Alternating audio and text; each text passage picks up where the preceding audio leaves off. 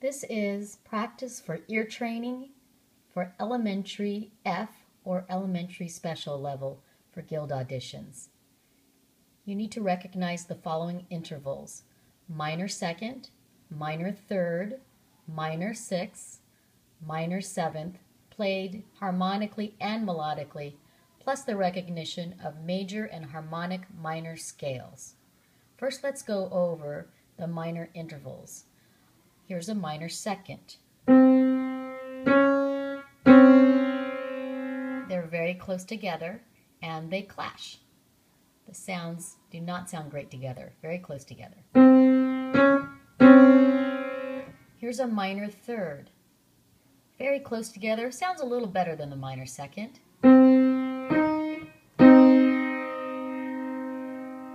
Again, minor third.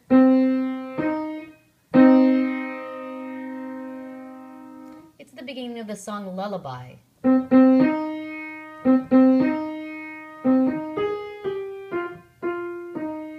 Next we have minor six. That's also in the song The Lullaby. And sometimes when we compare it to the major six with the doorbell, that's a major six. Sometimes we call the minor six the evil doorbell.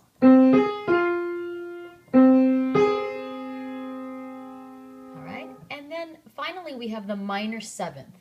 The minor seventh is far apart, clashes a little bit, but doesn't sound, uh, sounds a little better than the major seventh.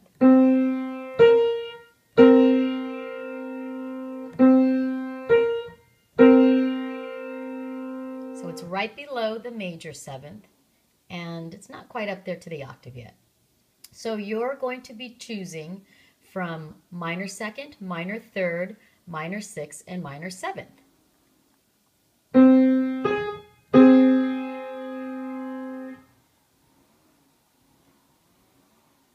That was a minor six.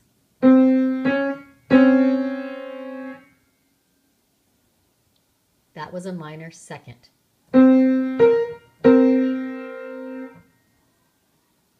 That was a minor seventh.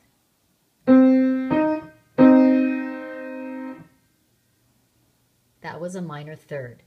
Okay, next we're going to do the harmonic versus, um, I'm sorry, next we're going to do the major versus harmonic minor scales. The major scale obviously sounds happy like the major scale. And the harmonic minor scale has that raised seventh, which we always say sounds a little Egyptian.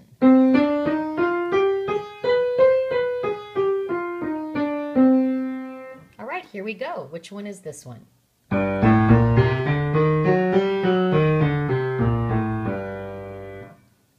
If you said harmonic minor, you're correct. Which one's this one?